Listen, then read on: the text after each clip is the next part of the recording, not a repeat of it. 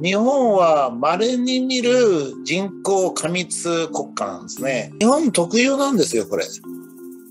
本当に日本特有なんですね。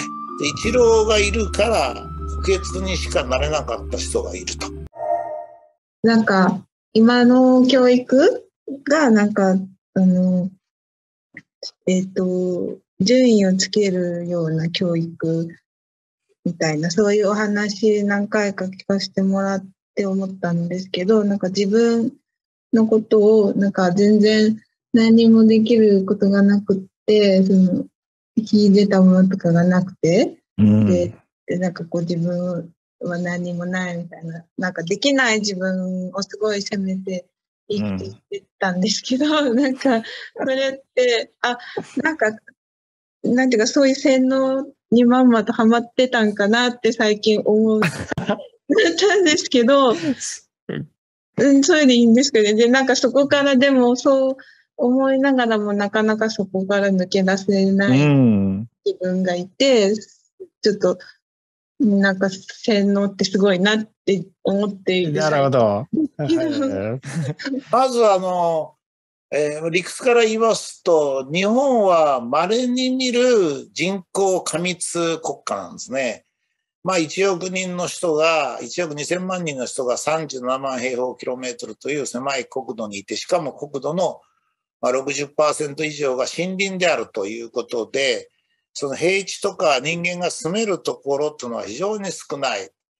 えーですから、先進国に対して人絶対的人口密度がだいたい3倍。それに、えー森林とかそういうのの比率を入れると、だいたい6倍から10倍ぐらいの人口密度のところに住んでるので、日本では鳥絵とか他人との比較っていう話が出てくるわけですね。それでもちろん受験みたいなものもあるし、人と人との競争っていう概念も出てくると。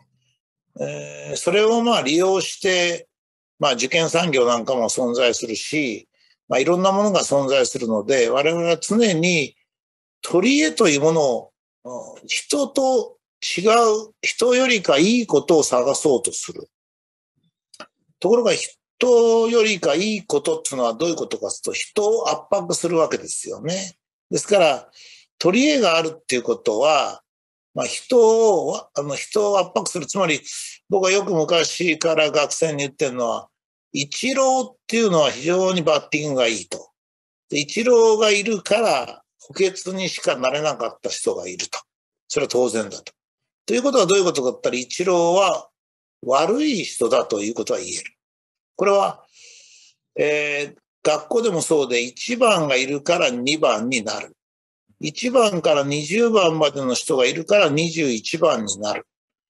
だから人間ってのはもともとそういうもんじゃないんだけれども、その、取り柄というのを小学校なんかで書かせたりするので、日本ではね。長所が何ですかとかね。それでいつも僕が言うように、フィンランドとかスウェーデンっていうのは大体日本の人口密度の20分の1なので、人との比較が意味をなさないんですね。で、したがって、取り柄とか長所という言葉もないし、まあ、あの、フィンランドぐらいになるともう受験もないと。だから、えー日本がちょうど、まあ、もちろん江戸時代まではなかったわけですが、えー明治時代から今まで150年間だけちょっと特殊な状態で取り柄とかいいところが、あそれはね、取り柄っていうのが人との関係で取り柄じゃなければいいんですけどね、僕が学生から聞いてた取り柄ってのは100%人との比較なんですよ。そうですよね。ええ比較対象があって、あっての取り柄優劣っていうような感じで。うんだから人よりか優れてなければ取り柄にならないんですよ。うんそんなことは全然なくて、なんかナイフでこう、あの、竹かなんか削って細工物を作る。それは非常にひどいもの、いい作品じゃないけども、自分としてはそれでいい、いいっていうの、こう、概念がないんですね。ですから、今の話は本当に多いんですよ。その、しかもいけないのが小学生の頃にそれやるんでね。じゃここであ、あのー今のね、ゆりさんの状態が、まあ、こう、なんかこう、自信が持てないとか、そういうことですよね、ゆりさん。えっと、なんか自信をって思えるようになったんですけど、はいなんかするとすぐ、はい、やっぱり自分はダメだな、みたいな。自分はダメだとか。ああ、どうですかね、武田先生。そういうふうにこう、そういう思考になってしまったとき。まあ、それは謙虚なのはいいんですけどね。はい。だけど、あの、日本特有なんですよ、これ。本当に日本特有なんですね。あの、ですから、あの、こ人よりか、人よりか良い状態ということを考えるっていうのは人がいるからであってですね。あの、フィンランドの人の一回フィンランド大使館の人と親しかったもんだから、随分研究会もやったから、フィンランドの話がよく出てくるんですけど、いや、我々は卒業したらね、隣まで10キロだったんですよ。だからね、10キロの人とね、離れた人とね、なんか比較する必要あるんですかって言われたことあるんです。だから、日本の場合は、そ隣がもうすぐそこにいるじゃないですか。確かに確かに。だからまあ、日本で特殊だってことは言えますよね。そうですね。ゆりさん、大丈夫ですかね？なんかこう、日本が特殊だと。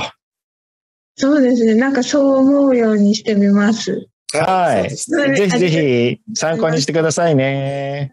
はい。ありがとうございました。はい。ご視聴ありがとうございます。もっと武田先生のお話を聞きたい方へ、武田先生に直接人生相談をしたり、YouTube では公開できないお話を聞ける公式オンラインサロン幸せ砂時計村で、武田先生や意識の高い仲間たちと幸福な生き方、考え方を身につけ、笑いの絶えない毎日を一緒に過ごしませんか？武田邦彦公式オンラインサロン幸せ砂時計村参加受付中。詳細はこちらの QR コード概要欄をご確認ください。